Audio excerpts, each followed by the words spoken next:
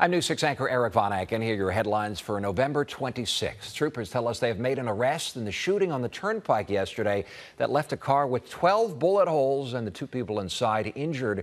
Troopers say they made the arrest after looking at surveillance video and tracking down the car that they say left the scene in Lake County.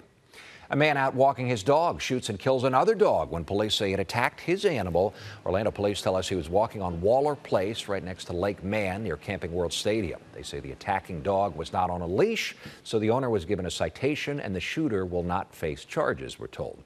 Right now, Orlando police are hunting for this guy wearing a sweatsuit and a hoodie. Police say early this morning he walked into the Circle K on South Semoran and said he had a gun and then took off with cash.